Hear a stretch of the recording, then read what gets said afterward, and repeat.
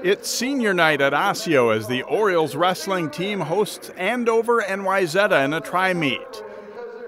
Highlights from Osseo Wayzata. At 126 pounds, Wayzata's Andrew Larson tips Connor Spanier to his back for near fall points on the way to a technical fall.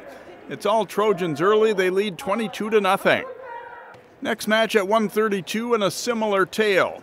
Lewis Scott of Wayzata gets the takedown on Peter Hollingshead. Scott controls the match and earns five team points with another tech fall for a 27 0 team lead.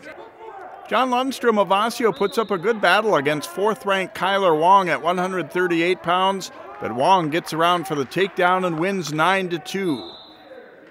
Osseo gets on the board at 145. Sixth ranked Dylan Schultz locks Isaiah Schmitz up and gets the pin. Schultz is back in form after a knee injury, but his Orioles trail at 30 to 6 at this point. Fourth ranked Wayzata is a little too much for Osseo. Adam Eldemir gets the pin at 170 pounds as the Trojans win at 60 to 18. They also thumped Andover. Jay Wilcox, CCX Sports. Find more prep sports games and highlights at ccxmedia.org and follow us on social media.